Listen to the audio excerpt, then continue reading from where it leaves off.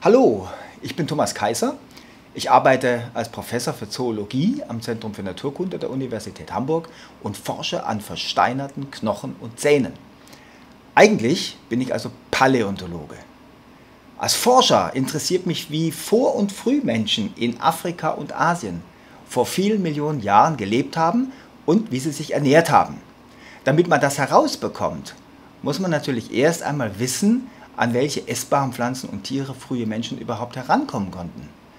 Wie man das herauskriegt, das will ich euch nächste Woche zeigen. Man braucht dazu eine ganze Menge coole Geräte und Computer und kann am Ende sogar solche tollen 3D-Drucke hier machen. Und dann werden wir nämlich auch sehen, ob dieser Nussknacker Vormensch, den ich euch hier zeige, auch wirklich Nüsse gegessen hat oder vielleicht was ganz anderes. Ihr dürft also gespannt sein. Wir sehen uns nächste Woche im Audi Max und ich freue mich.